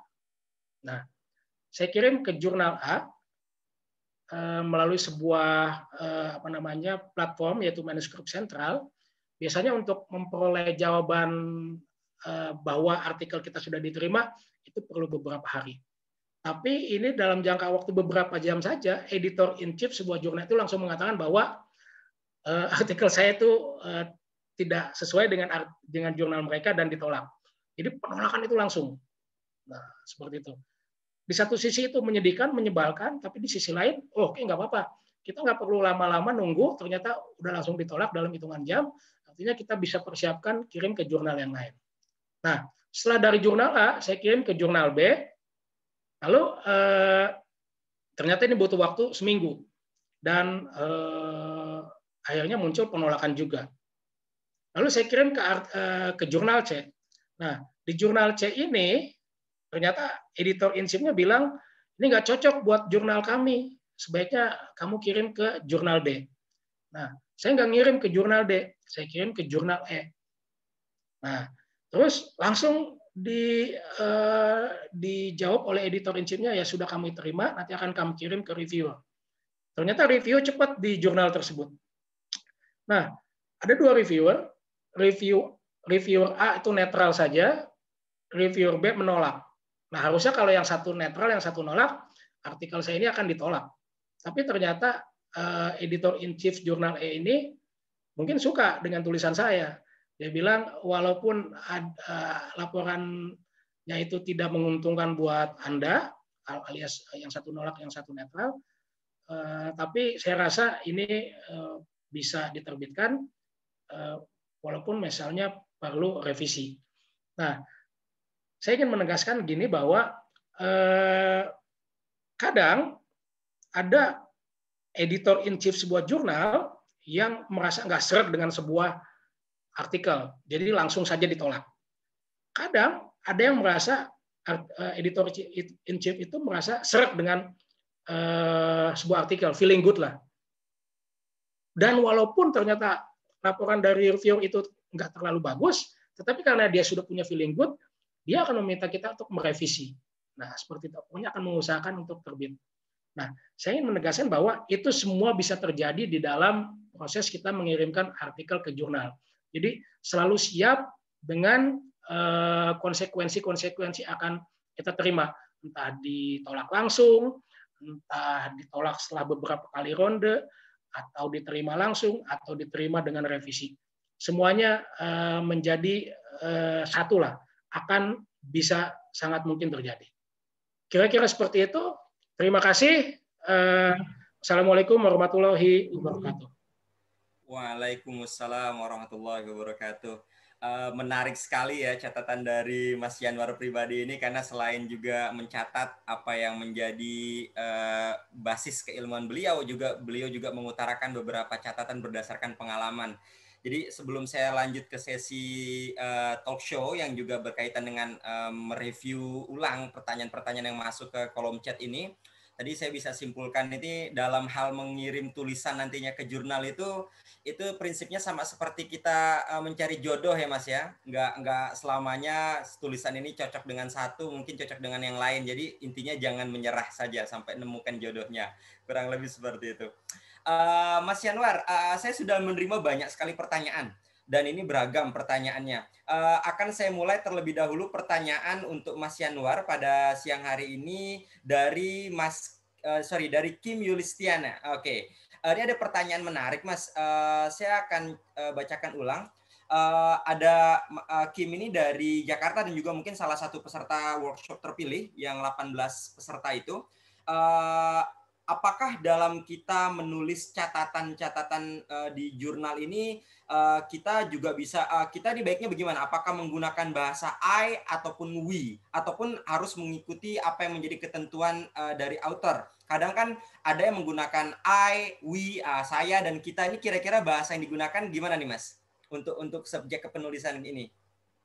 Oke, baik. Tadi sudah saya jelaskan kalau di uh, kebanyakan uh, jurnal-jurnal di luar negeri yang berbahasa Inggris, uh, mungkin 9 entah berapa kali berapa persen, hampir semuanya meminta I atau we. Jadi subjek pertama tunggal atau ganda. Nah, seperti jamak seperti we, kira-kira seperti itu. Kalau di Indonesia masih di, bisa diterima sih, misalnya penulis atau peneliti. Tapi saya sebenarnya juga kurang kurang serak dengan kata itu karena penulis itu adalah kata ketiga orang tunggal dan jamak. Entah siapa yang dimaksud. Nah, seperti itu. Oke, terima kasih Mas Yanwar. Saya langsung pindah ke pertanyaannya Kak Arifah dari Entulung Agung.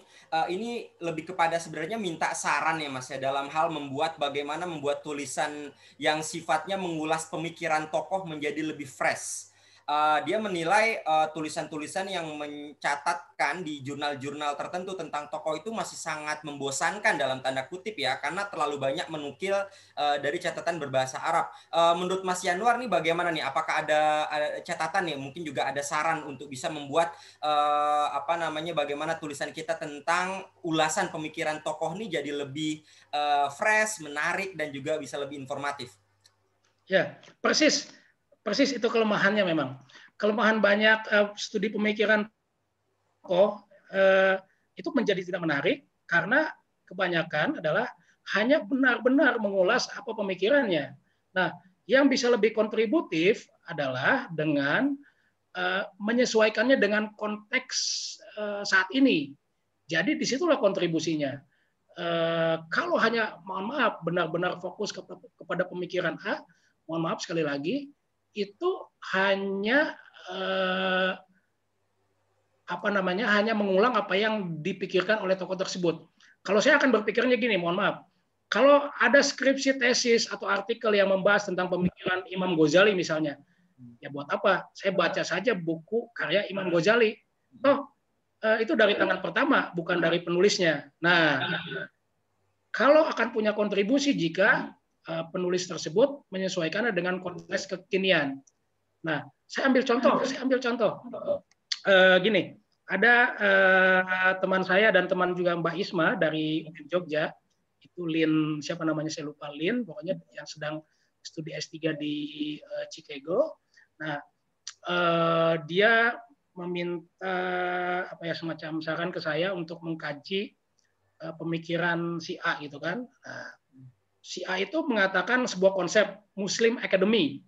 Nah, kemudian Lin ini mengulangi konsep tersebut, menyebutkan nama uh, Academy Muslim Academy terus. Saya bilang, Lin, kalau kamu uh, mengulang konsep seperti itu, itu nggak ada kontribusi sama sekali. Saya lebih baik baca saja buku orang tersebut. Nah, kamu coba uh, ungkapkan konsep yang berbeda dari Muslim Academy tersebut. Dengan begitu, Ketika kamu menemukan konsep baru tersebut, kamu akan membuat sebuah eh, novelty. Nah, jadi untuk Arifah Melati, coba seperti itu saja, sesuaikan dengan konteks ini dan apa yang bisa kemudian dipertentangkan dengan eh, konsep-konsep yang dikaji oleh Imam Ghazali misalnya.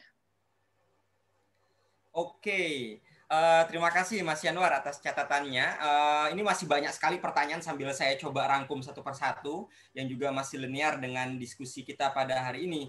Ini sebenarnya nanti juga akan ada pertanyaan-pertanyaan yang uh, relevan dengan diskusi di sesi kedua dan ketiga. Nanti saya harap teman-teman juga bisa tetap uh, intens mengikuti sesi kedua dan ketiga yang kaitannya langsung kepada uh, teknik menulis dan juga teknik mempublikasikan tulisan di jurnal.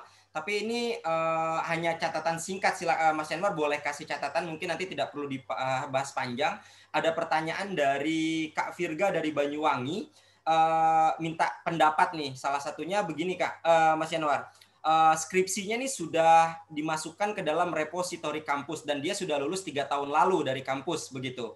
Uh, apakah model-model seperti ini yang tulisan yang skripsinya ini sudah masuk di repositori kampus bisa dijadikan jurnal artikel begitu? Mas Yanwar. Oke, baik. Pada dasarnya uh, skripsi tesis itu bukan publikasi. Oke. Jadi pada dasarnya itu bisa diterbitkan oleh kita. Tapi kita juga harus fair. Kita harus menyebutkan sumber asalnya bahwa sumber asalnya adalah uh, tesis atau skripsi kita yang uh, ditulis pada tahun sekian di kampus A uh, untuk mendapatkan apa gitu. Nah, jadi bisa, sangat bisa. Karena hak ciptanya ada di tangan kita. Ya. Asal sekali lagi disebutkan identitasnya. Oke. Terima kasih Mas Yanwar. Jadi pada prinsipnya masih bisa ya, walaupun itu sudah masuk ke repositori kampus dan sudah uh, tayang ke mana-mana gitu, selama itu bisa kita jelaskan dan kita bisa klaim dengan jelas begitu, dan itu masih dalam catatan hak milik kita sebagai penulis dalam tanda kutip gitu ya. Uh, saya juga akan uh, menyesuaikan beberapa pertanyaan yang ini sesuai dengan tema kita pada pagi hari ini supaya tidak nantinya uh, tupang tindih dengan diskusi-diskusi selanjutnya, saya akan coba masuk ke pertanyaan dari Mbak Reski Putri uh, dari Surabaya yang saat ini sedang berkuliah di UIN Sunan Kalijaga Yogyakarta. Ada pertanyaan seperti ini Mas, ini berkaitan dengan ketakutan tentang plagiarisme. Uh, apalagi ini sedang marak ya kasus-kasus plagiarisme setelah ada informasi beberapa rektor uh, apa namanya yang juga tercatat melakukan plagiat dan lain sebagainya uh, ketakutan terhadap plagiarisme untuk menghindari self plagiarism, apakah itu berarti klaim teori dan argumentasi yang ada di tesis tidak boleh sama persis dengan yang akan kita tuangkan dalam artikel? Mohon bimbingannya nih Mas Yanwar. Oke, uh, bukan itu sebenarnya yang yang dimaksud dengan uh, self plagiarism. Nah, uh, saya ambil contoh deh gitu kan. Uh, disertasi saya itu ada di website Universitas Leiden. Tapi kemudian disertasi saya juga diterbitkan menjadi artikel-artikel. Tapi di semua artikel itu saya sebutkan bahwa materinya diambil dari penelitian saya untuk disertasi. Nah, bahkan kemudian dari artikel-artikel itu kemudian saya modifikasi lagi jadi disertasi, saya modifikasi jadi artikel, kemudian saya modifikasi lagi jadi buku. Saya sebutkan bahwa yang di buku itu semuanya berasal dari disertasi dan saya sebutkan hitam di atas putih bahwa sebagian dari disertasi itu sudah diterbitkan menjadi artikel. Nah, itu ketika sudah menjadi buku. Lalu hitam di atas putih seperti apa? Saya diminta oleh penerbit untuk memperoleh surat keterangan bahwa saya memiliki hak untuk menerbitkan sebagian materi yang ada di artikel untuk diterbitkan eh, dalam sebuah buku. Jadi saya minta tuh misalnya saya minta uh, untuk jurnal di Indonesia saya minta ke Al Jamiah, saya minta ke Studia Islamika surat hitam di atas putih itu tulisan saya di volume sekian nomor sekian halaman sekian dan akan saya terbitkan untuk sebuah buku. Lalu di luar negeri saya minta ke jurnal Southeast Asia Research di SOAS misalnya atau ke ISEAS. Nah, jadi itu bisa. Kalau itu ingin diterbitkan menjadi buku. Tapi kalau untuk kalau untuk menjadi artikel saja tidak perlu seperti itu. Cukup kita tegaskan bahwa artikel ini materinya sebagian berasal dari skripsi atau tesis kita. Nah, itu uh, etikanya. Jadi tidak melupakan self plagiarism.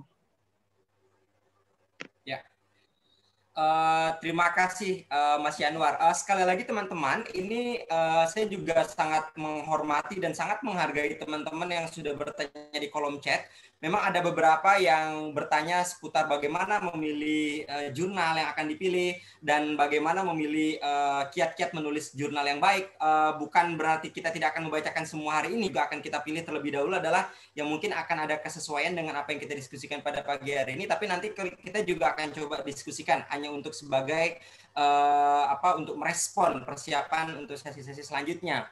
Uh, Mas Yanwar, saya akan lanjut ke pertanyaan ini seputar bagaimana kita mengambil referensi.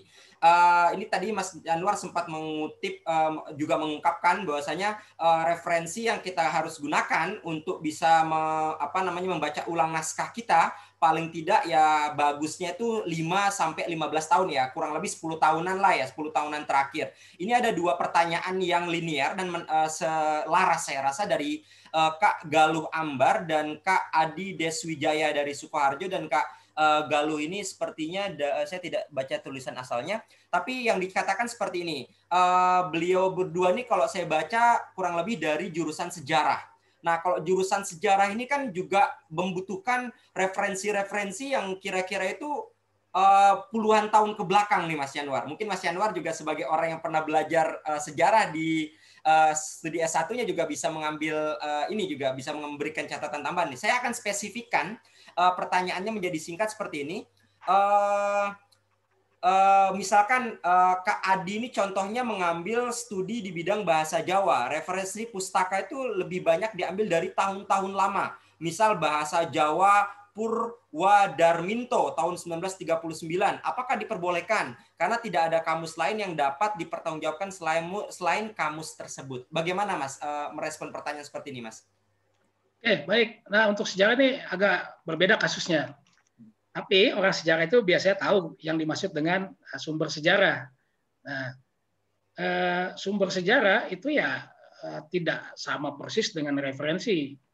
Sumber sejarah itu artinya sumber yang kita gunakan untuk kita ambil datanya. Misalnya untuk sebuah kamus, eh, sebuah ensiklopedia, itu kita ambil datanya. Justru semakin tua itu akan semakin bagus karena akan memperlihatkan betapa kita sangat menguasai eh, heuristik pencarian sumber. Nah, kalau referensi adalah ketika ada seseorang yang menulis tentang kamus A, itu ditulis tahun 1980. Lalu ketika ada seseorang yang menulis tentang kamus A, dibuat di tahun 2015. yang terbaru, yang mutakhir, yang harus kita rujuk, ya tentu saja yang diutarakan yang tahun 2015, bukan yang tahun 1990. Eh, Tapi kamusnya sendiri yang harus kita rujuk, misalnya yang sudah berusia ratusan tahun. Jadi eh, beda antara sumber sejarah dengan referensi. Jadi kalau untuk kasus sejarah, justru akan sangat bagus sekali. Kalau kita bisa membaca eh, sumber-sumber sejarah yang sudah berusia ratusan tahun, entah itu dalam bentuk kamus, arsip, manuskrip, naskah kuno dan semacamnya. Tapi referensinya tulisan sejarah tentang tema tersebut ya harus yang mutakhir tahun-tahun yang terbaru. Nah, seperti itu Mas Tito. Jadi untuk kasus sejarah emang ada perbedaan yang lebih spesifik. Oke, memang uh, ada ada ada pengecualian-pengecualian khusus ya Mas ketika untuk kita mengambil referensi dari sumber-sumber uh, yang memang sifatnya sudah lama sekali.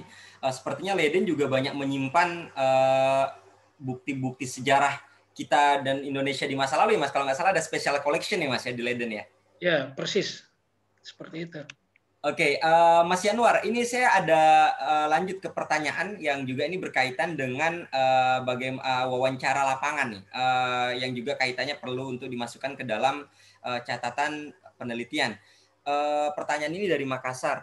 Uh, sebenarnya ini bagaimana Mas uh, untuk bisa uh, memasukkan argumen yang kita dapatkan dari hasil wawancara apakah kita uh, katakan let's say hanya cukup mencantumkan satu atau dua argumen saja untuk kita masukkan ke dalam artikel kita atau memang kita harus masukkan semua ini trik dan tips untuk bisa kita memasukkan uh, arti argumen-argumen wawancara itu bagaimana mas? Oke baik uh, jadi gini argumen itu tidak berarti harus diambil dari Eh, hasil wawancara misalnya. Argumen itu adalah sesuatu yang kita pikirkan sendiri.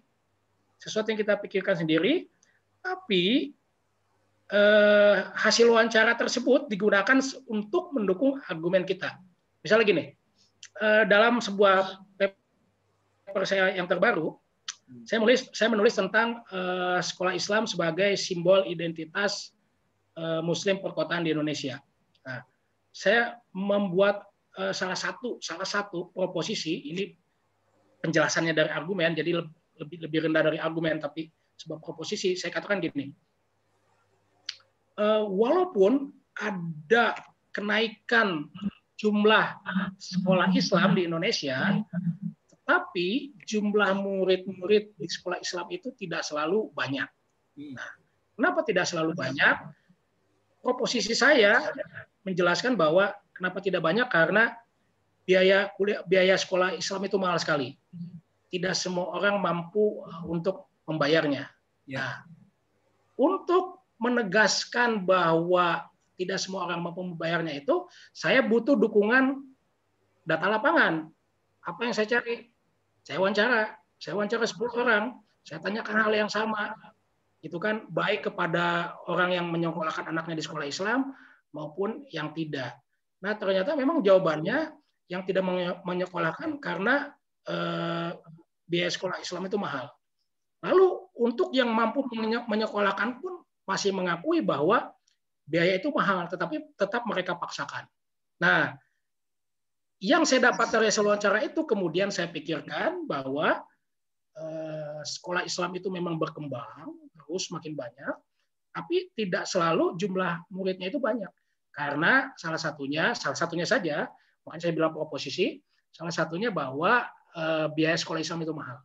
Nah, jadi argumen itu kita buat, hasil wawancara itu kita gunakan untuk mendukung argumen kita, bukan sebagai argumennya, tapi untuk argumen kita.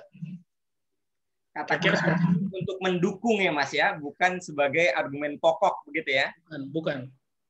Oke, okay, uh, eh, Mas Yanwar, ini uh, dari argumentasi dan referencing saya akan coba pindah sedikit ke pertanyaan yang mungkin uh, apa namanya tidak sesuai dengan uh, yang tadi kita diskusikan, tidak tidak selinier gitu maksudnya. Uh, ini ada pertanyaan juga yang masuk dari Kak Mardian Sulistia, Sulistiati dari UIN Jakarta. Uh, Mas Yanwar, uh, ini ada pertanyaan begini, uh, tesis yang sudah terbit dalam bentuk buku masih mungkinkah kita rewrite dan kita baca ulang untuk menjadi jurnal, Mas? Mungkin bisa dikasih pencerahan di sini. Nah, oke. Okay. Tesis, skripsi, eh, menjadi artikel lalu menjadi buku atau tesis langsung menjadi artikel itu biasanya tidak ada masalah. Tapi ketika tesis sudah menjadi buku lalu menjadi artikel lagi, ini bisa bisa bisa uh, oleh penafsiran tertentu orang, orang tertentu, tapi ini masih bisa diperdebatkan, tapi bisa masuk kategori uh, plagiarism. Nah, Kenapa? Kenapa beda dengan uh, tadi dari artikel ke buku? Kalau artikel ke buku itu tidak, tapi dari buku artikel uh, itu bisa bisa bisa dikategorikan self plagiarism. Karena uh, yang sifatnya itu tadi, kalau artikel itu kan perubahan informasinya cepat, nah, seperti itu. Sedangkan uh, buku itu perubahan uh, informasinya itu uh, cenderung lambat. Nah, ada faktor-faktor kebaruan yang uh, kemudian uh, bisa uh, bisa jadi sangat bermasalah sehingga uh, kemudian dalam konteks uh, pemikiran beberapa orang tertentu itu juga bisa dikategorikan sebagai self plagiarism. Jadi memang uh, kalau buku itu sudah dipublikasikan, beda dengan tesis. Tesis skripsi itu bukan bentuk publikasi. Jadi kalau dibuat jadi artikel sangat-sangat bisa, tapi kalau diambil dari buku dan bukunya itu berasal dari uh, tesis untuk dibuat ke artikel itu uh, oleh beberapa orang tertentu bisa dikategorikan, dikategorikan sebagai self plagiarism. Tapi harus hmm. dilihat uh, lebih spesifik sebenarnya apa uh, definisinya. Saya juga tidak terlalu mendalami, tapi saya tahu ada orang-orang yang berpendapat, berpendapat seperti itu. Jadi sebaiknya jangan, kalau menurut saya. Oke, uh, berarti Mas Yanwar lebih kepada menyarankan lebih baik jangan ya Mas, itu karena juga akan mendekati plagiarism. Kalau memang kita sudah ada buku, apalagi buku ini beri ISBN katakan, lalu yeah. kita uh, pindah menjadi jurnal artikel, uh, artikel jurnal dan lain sebagainya. Uh, Mas Yanwar, saya pindah lagi nih ke pertanyaan selanjutnya dari Serang. Uh, pertanyaan dari, mohon maaf, dari Kak Mimi, dia bertanya seperti ini Eh, kira-kira menurut Mas Yanwar berapa referensi untuk menuliskan data pendukung dalam membuat penjelasan dalam bagian pembahasan? Ada nggak kira-kira minimal berapa referensi yang harus kita siapkan? Terus eh, kalau bisa katanya nih eh, mau minta contoh artikel yang pernah Mas Yanwar buat, kira-kira di mana bisa kita dapatkan? Nanti mungkin Mas Yanwar bisa kasih informasi. Silakan Mas. Oke, uh, tidak ada batasan yang spes yang spesifik sebenarnya Uh, ya, tapi tentu saja semakin banyak akan semakin memperkaya. Itu nanti akan menjadi sebuah nilai lebih. Artinya uh, oleh reviewer, oleh editor, kita akan dianggap menguasai bidang tersebut. Nah, kalau misalnya ingin memaksa, bukan memaksa ya, ingin lebih memastikan ada berapa uh, minimal, kalau saya biasanya dalam sebuah artikel itu, ini untuk bidang saya misalnya, uh, ya antara 20 sampai 40 artikel yang saya rujuk nah seperti itu. Tapi itu untuk untuk tingkat yang advance memang. Kalau untuk uh, skripsi itu 20 juga sudah bagus itu. Nah, seperti itu. Sedangkan untuk uh, melihat tulisan saya bisa saja saya bagikan di chat box nggak masalah atau nanti oleh panitia dibagikan atau uh, di googling juga bisa gitu kan ada beberapa yang ada yang tidak berbayar. Nah, tapi eh, kalau yang berbayar juga nanti bisa. Kalau misalnya japrik saya, itu gampang lah. Oke. Uh, ya, uh, nanti Mas Yanwar mungkin bisa informasikan juga lebih lanjut uh, kepada teman-teman ini melalui kolom chat uh, apa kira-kira media sosial ataupun email yang kira-kira berkenan untuk dibagikan ataupun bisa langsung link Google ataupun yang uh, berkaitan yang bisa langsung me, me, apa melink kepada tulisan-tulisan Mas Yanwar misalkan untuk nantinya teman-teman bisa tahu lebih lanjut. Tapi overall uh, teman-teman tadi juga sudah disampaikan Mas Yanwar ini juga salah satu alumnus dari kampus Leiden di Belanda. Jadi kalau teman-teman bisa googling langsung nama Yanwar pribadi biasanya juga akan langsung muncul beberapa tulisan-tulisan terkait yang juga mungkin akan relevan dengan kebutuhan-kebutuhan yang teman-teman cari. Uh, begitu. Uh, sebelum saya lanjut ke pertanyaan, ini ada per, ada pernyataan saya bisa katakan dari salah satu peserta yang uh, mengikuti yang yang yang menjadi salah satu peserta yang 18 yang mengikuti sesi workshop uh, untuk jurnal publishing workshop uh, pada waktu bulan-bulan ini uh, katanya ya dia sudah pernah beberapa kali menulis artikel baik itu sudah dan sudah pernah terbit tapi lebih banyak di jurnal nasional dan sedang ber, berusaha untuk menulis di jurnal internasional. Uh, salah satunya yang dia rasakan untuk bisa tembus di jurnal internasional adalah lebih kepada kurang kenoveltiannya ini masalah novelty Mas Yanwar ya. Tadi Mas Yanwar sudah singgung masa novelty. Uh, ya semoga program ini juga bisa uh, memberikan bimbingan lebih lanjut untuk bisa uh, memperhatikan kenoveltian dalam tulisan kita. Mas Yanwar bisa singgung sedikit lagi Mas catatan penting tentang novelty intinya apa nih? Buat semua yang mungkin terlambat tadi nggak ikut di awal. Ya, oke, okay, baik. Novelty itu kan uh, bisa melalui, bisa diperoleh melalui berbagai macam cara. Uh, cara yang sangat advance misalnya adalah dengan uh, mengkaji sebuah teori gitu kan dengan mengkaji sebuah teori lalu uh, kita melakukan penelitian lapangan. Nah hasil penelitian lapangan itu uh, kita gunakan untuk mengkritik suatu teori misalnya. Ternyata ada hal dari uh, amatan penulis sebelumnya. Nah, kita berhasil mencipta bukan menciptakan sih sebenarnya, lebih kepada memodifikasi sebuah uh, teori baru dengan menampilkan temuan-temuan lapangan kita. Nah, temuan lapangan kita yang kita kemukakan itu sebenarnya tidak menolak uh, teori tersebut, tetapi hanya ingin menambahkan bahwa ini loh ada sesuatu yang baru. Saya ambil contoh gini, uh, yang yang kasus yang saya sedang saya tulis uh, saya sedang menulis tentang informality in citizenship. Jadi informalitas-informalitas dalam kewargaan. Nah, saya ambil contoh gini. Kalau di Eropa, kewargaan itu adalah sesuatu yang formal. Orang ketika ingin melakukan uh, apa namanya, misal protes, uh, bukan protes ya, ya, ini deh. Misalnya, dia tidak bisa diterima masuk Eh, di rumah sakit gitu kan karena alasan-alasan yang tidak jelas. Nah, dia bisa komplain ke eh, DPRD di kota dia misalnya kan. Itu biasanya akan diterima komplainnya karena ada mekanismenya, ada mekanisme untuk melaporkannya. Nah, di Indonesia kasus-kasus BPJS seperti itu kan susah sekali. Komplain, komplain, komplain, tapi kan biasanya nggak ada penyelesaiannya. Nah, kalau di Indonesia, kadang-kadang penyelesaian itu dilakukan dengan cara-cara yang informal. Misalnya apa? Kita kenal dengan uh, direktur rumah sakit tersebut, kita terkenal dengan pejabat, kita terkenal dengan anggota DPR, sehingga kemudian dengan anggota DPR, dengan pejabat, kita bisa masuk rumah sakit. Nah, seperti itulah. Kita bisa masuk rumah sakit diterima, yang katanya dibilang kosong, ternyata buat kita ada. Nah, kalau di Barat nggak seperti itu, perlu saluran yang resmi, nggak nggak perlu kenal dengan pejabat tapi uh, langsung bisa uh, melakukan komplain resmi kepada DPRD, kepada pemerintah kota, kepada rumah sakit. Nah, itu informalitas dalam kewargaan. Nah, ada teori yang menjelaskan tentang informalitas tersebut bahwa satu misalnya informalitas dalam uh, kewargaan itu uh, satu uh, di Indonesia memerlukan uh, pihak ketiga. Nah, pihak ketiga tadi misal pejabat. Nah, saya ingin mendukung dan memodifikasi teori tersebut dengan mengambil studi kasus yang saya teliti sendiri.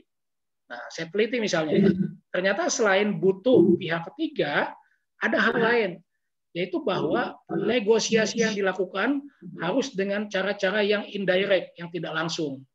Nah, seperti apa misalnya dengan menggunakan bahasa-bahasa yang halus, dengan memuji tapi sekaligus menyampaikan pesan bahwa uh, ini adalah sebuah kelemahan. Misal gini, Bapak kalau Bapak gitu kan, Bapak itu bupati yang baik, Bapak itu bupati yang baik. Nah, Bapak itu nanti bisa terpilih lagi kalau misalnya Bapak itu fokus sama BPJS gitu kan dengan bahasa-bahasa yang baik. Nah, padahal ingin mengkritik bahwa sebenarnya sistem BPJS di kota itu tidak berjalan dengan baik. Nah, saya menambahkan itu. Jadi itu novelty yang bisa kita peroleh. Kira-kira seperti itu Mas Dito. Terima kasih Mas Yanwar. Ini uh, luar biasa semakin siang materinya jadi semakin berat dan berbobot sekali. Uh, tapi juga waktu semakin mendekati sesi akhir dari diskusi kita pada siang uh, pagi menjelang siang hari ini. Uh, sebelum nantinya kita selesaikan, saya masih akan ada dua pertanyaan. Nanti mungkin Mas Yanwar bisa jawab singkat. setelah dua pertanyaan ini kita akan uh, mendengar closing remarks dari Mas Yanwar. Nanti juga kita akan adakan sesi foto bersama bersama teman-teman. Uh, Mas Yanwar, ini ada dua pertanyaan yang pengen saya raise kepada Mas Yanwar dan juga untuk dibagikan kepada teman-teman. Yang pertama ini kembali dari Mbak Wardatul Jannah. Uh, lebih kepada Mas Yanwar, bolehkah kita ini dikasih contoh ataupun juga catatan lainnya untuk bisa menghindari self plagiarism uh, mungkin Mas Yanwar juga ada informasi berkaitan dengan link disertasi ataupun beberapa artikel yang sudah diterbitkan di jurnal yang mungkin juga uh, bisa bermanfaat dan mungkin ada contoh yang memang ada kasus kaitannya dengan contoh-contoh yang dikatakan ini plagiat dan lain sebagainya. Mungkin Mas Yanwar bisa menjawab ini secara singkat. Oke, baik. Uh, saya ambil contoh juga begini. Uh, seperti yang sudah saya jelaskan, dari disertasi saya itu eh, lima artikel sudah diterbitkan, kemudian eh, setelah artikel diterbitkan lagi menjadi buku. Tapi semua dengan proses modifikasi.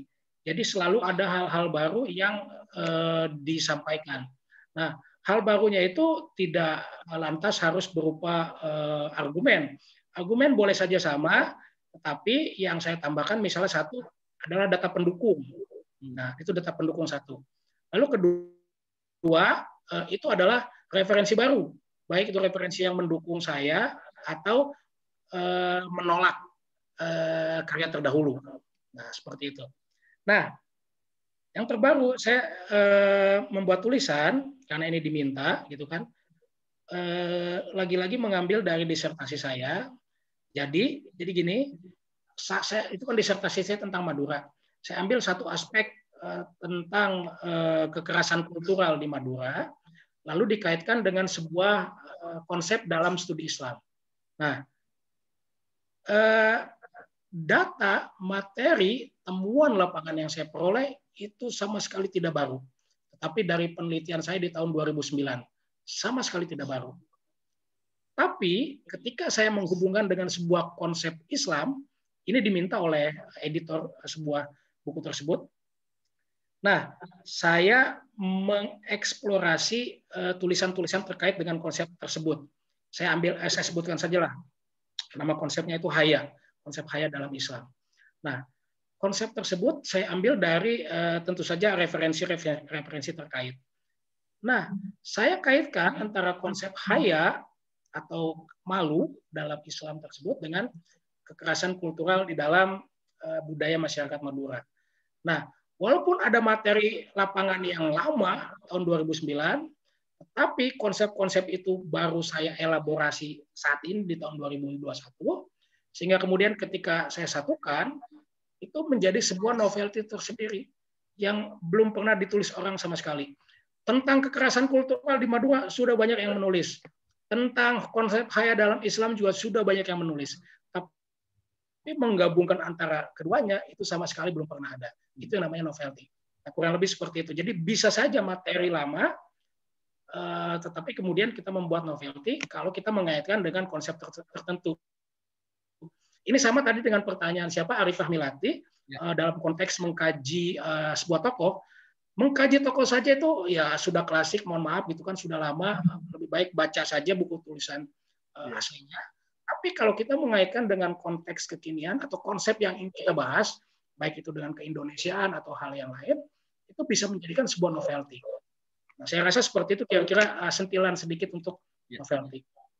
Baik, terima kasih Mas Yanwar. Memang ada banyak pertanyaan yang masuk, tapi akan saya bacakan pertanyaan terakhir. Ini akan menjadi pertanyaan penutup pada diskusi kita siang hari ini. Mas Yanwar, mohon uraiannya bagaimana teknik merumuskan masalah penelitian, research problem yang tepat. Sebab katanya kebanyakan uh, peneliti atau penulis di Indonesia khususnya itu masih kesulitan uh, untuk bisa membedakan antara rumusan masalah penelitian dan pertanyaan-pertanyaan penelitian. Ini pertanyaan langsung disampaikan oleh uh, Pak Ayub Mursalin. Silakan Mas Yanwar, mungkin bisa ditanggapi singkat. Ya, sebenarnya tidak ada perbedaan spesifik. Uh, makanya saya bilang tadi, artikel artikel jurnal itu bisa di bisa diperoleh dari skripsi atau tesis jika kita melakukan penelitian tesis dan skripsi dengan baik. Nah, kalau kalau kita tidak baik misalnya melakukan uh, tesis dan skripsinya tidak baik, ya memang ya hasil untuk mengubah ke uh, artikel juga tidak baik. Tapi percaya kalau kita melakukan tesis penelitian untuk tesis dan skripsi itu dengan baik, maka itu akan mudah dan tidak perlu untuk mengubah pertanyaan penelitian. Mungkin yang perlu dilakukan bukan mengubah pertanyaan penelitian, tetapi lebih kepada memodifikasi. Misalnya gini, uh, itu tesis skripsi kita tulis 10 uh, eh, tahun yang lalu gitu kan. Konteksnya enggak sesuai dengan konteks sekarang. Nah, kita bisa memodifikasinya sesuai dengan konteks sekarang. Saya ambil contoh misalnya. Sekali lagi saya ambil contoh dari kasus saya. Uh, saya topik disertasi saya itu kan tentang Madura 1990 sampai 2010. Nah, 1910 sampai 2010. Nah, eh, peristiwa penyerangan uh, jamaah Syiah itu dilakukan tahun 2012. Padahal tahun 2012 saya masih menulis uh, apa namanya disertasi saya belum selesai memang tahun 2012 dan selesai tahun 2012. Artinya saya tahu peristiwa itu, tapi tidak saya tulis. Kenapa? Karena fokus saya memang sampai 2010. Nah, kalau saya ingin sekarang mempublikasikan disertasi saya gitu kan dalam sebuah artikel, tapi kan sekarang sudah tidak mungkin karena saya sudah melakukannya. Ini misalnya, saya bisa membuat modifikasi rumusan masalah itu dengan menambahkan konteks, memasukkan eh, hal-hal yang terkait dengan eh, peristiwa penyerangan jamaah Asia di Sampang, yang sebelumnya tidak saya eh, fokuskan sama sekali. Sekarang bisa dimodifikasi dengan menambahkan hal tersebut. Jadi tidak mengubah, tetapi memodifikasi rumusan masalah, dan akhirnya setelah rumusan masalah dimodifikasi, ya diskusi atau pembahasannya pun ya jadi eh, berkembang.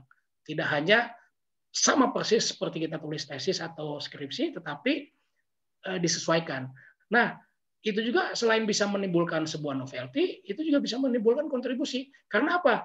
Kita ketika nulis uh, uh, disertasi kita 10 tahun yang lalu, itu belum ada tulisan-tulisan tentang penyerangan terhadap uh, jamaah Asia di Sampang. Nah, sekarang kan pasca 2012 sudah banyak tulisan tentang Asia di Sampang.